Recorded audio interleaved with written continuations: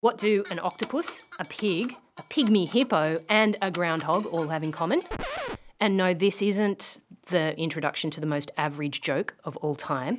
It is said they all have psychic abilities. From an octopus guessing football results to beloved Moo Deng correctly guessing Trump's 2024 win, these animals have been famous for predicting the future. Our little furry and maybe a little bit wet oracles. But perhaps none has been as famous with a day and a movie named after them as The Groundhog. The 1993 film Groundhog Day stars Bill Murray as the cynical weatherman named Phil who gets trapped in a cycle where he's repeating the same day over and over and over again, and that day is Groundhog Day. This magical day involves a groundhog, also named Phil, being pulled out of its hibernation to predict the arrival of spring. Now, putting aside the wobble in the space time existential continuum, I need to know is Groundhog Day a real thing? And can a giant rodent really predict the weather? I'm Ann Jones, and this is What the Duck. The movie is fictional, but the day itself, Groundhog Day, where you ask a groundhog for a long term weather report, is a real thing. But what even are groundhogs? A large, kind of chunky squirrel. they're in the same sort of family as squirrels. Uh, they they're also referred to as woodchucks. Yeah, you know, of how much wood would a woodchuck chuck if a woodchuck could chuck wood fame. A groundhog is one of 15 species of marmot. Think of them like the largest living squirrels on Earth, even though they don't look like they could climb a tree they are squirrels. You're also probably familiar with a particular viral video that we can't play because of copyright reasons, so I'm going to recreate it for you. Alan! Alan! Alan! There's a very good reason that they're bulkier than their arboreal cousins. All marmots that we know of have to spend a significant amount of time each year during our northern winter in hibernation because of their reliance on plants that aren't available in the winter or are covered by snow. Marmots load their active life into the warmer months where they like to get very, very fat. And then they hibernate. In some types of marmot, they hibernate for up to eight months.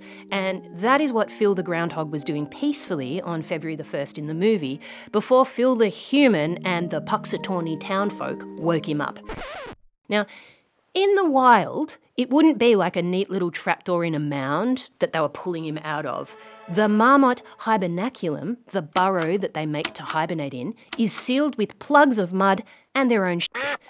Fortunately for the actors involved in the movie, this aspect of marmot biology is not reflected on the screen. But let's not besmirch the groundhog's good name with their shit houses. So, a fun fact about them is they're also known as whistle pigs.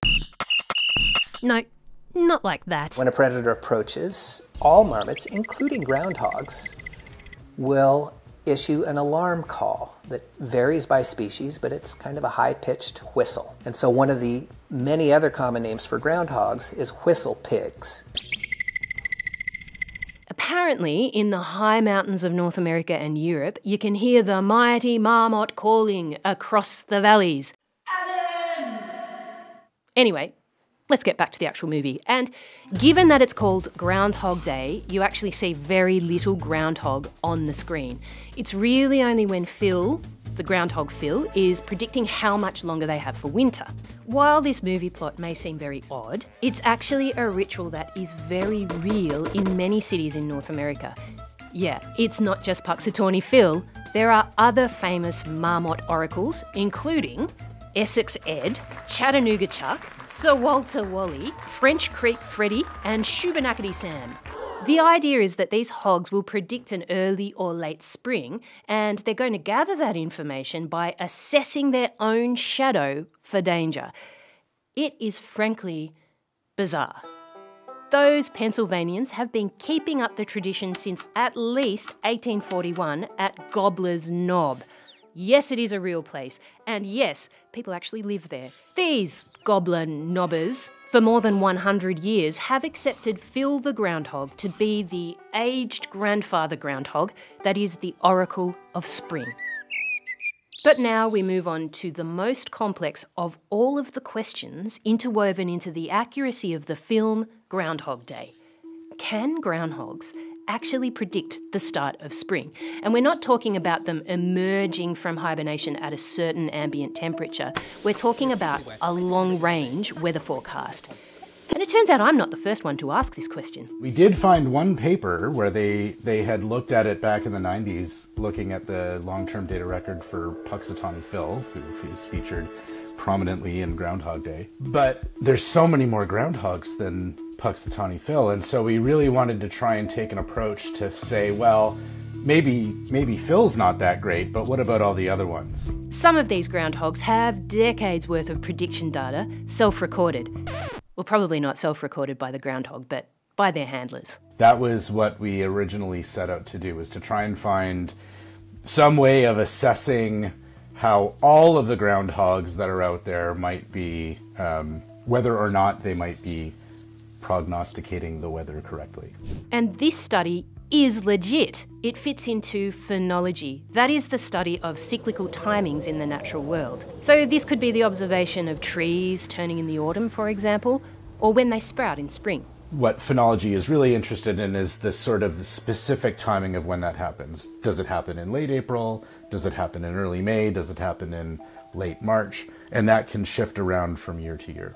And so some of these signs do make their way into human lore that black cockies fly before rain or cows lie down before a storm. We generally like to see signs in animals, I think. But in science, researchers often look to plants. So, to cross check the groundhog's meteorological efficacy, the team picked a flower that would indicate the onset of spring in any particular area. We decided to use the estimated flowering date of spring beauty. We found that it was one of the like five earliest plants to, to flower in the spring. Spring, in this case, isn't a date on a calendar. It's not a day of a month in a human construct. The scientists defined spring as the bloom of the spring beauty, which provided a sliding scale that was necessary to evaluate the local arrival of spring for each groundhog across the range. So, the research team gathered weather data, giving each of the groundhogs in the study a date for the start of spring in every available year. And finally, they could test the groundhog's accuracy on predicting an early or late change of season. So, how did our hairy oracles go? Odds of them getting it correct was about 50 50. Yay! But there were also ones that seemed to consistently get it wrong. Buckeye Chuck in Ohio, if he was making a prediction, you could basically predict the opposite and, and, and be okay.